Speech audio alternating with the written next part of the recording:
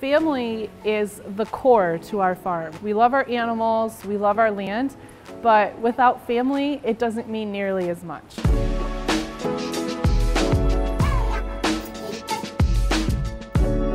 Being a millennial parent on the farm has a lot of challenges. Just like every other mom out there, the balance of work to personal to you know trying to make sure that you're not working too much but spending enough time with your kids the thing that I love the most about being a parent on the farm is that I can bring my daughter out here with me to work.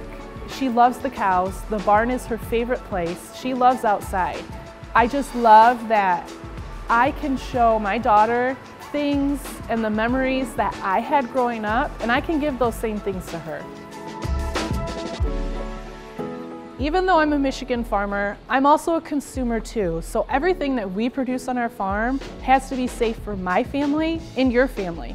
We take it very seriously, making sure that we produce a safe, wholesome, healthy product every day. Because I shop at the grocery store just like you, and I buy my milk in the dairy counter just like you do. I've always loved and enjoyed working with the animals. On the farm, I can do that every day. I'm around them all the time. And in addition to it, our family is really important to us. And so I love that I get to work with my parents every day. I love that I can have my daughter out on the farm with me, you know, out in the barn with the cows, and she loves it too. So to me, farming is the most rewarding profession.